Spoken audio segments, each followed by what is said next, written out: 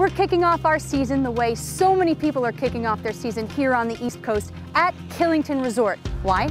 Well, because Killington Resort was the first to open on the East Coast thanks to incredible snowmaking power from edge to edge and top to bottom.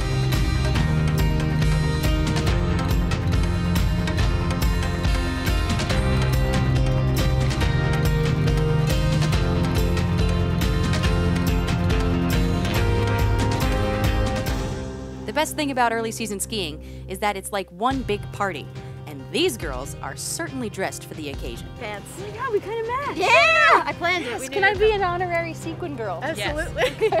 Would be I need honored. to like have a few fall off on my coat.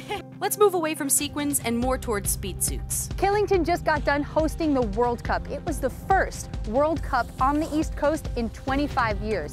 In fact, I think the last one that happened in Vermont was in 1978. So this was a big deal for Killington.